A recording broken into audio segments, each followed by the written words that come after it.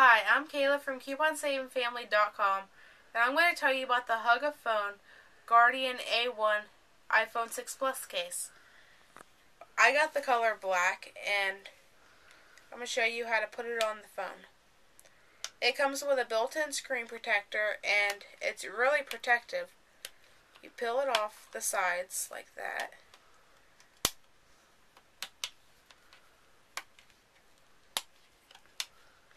And the the case on it it doesn't affect the way you hear your phone.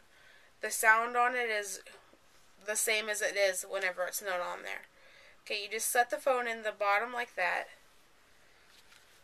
And then just snap on the top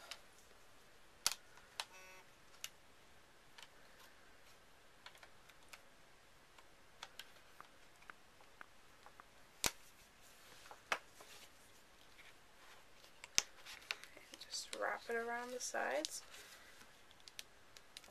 I like the case and it's really protective like for everyday adventures that you take and other things. Okay, and it's on there.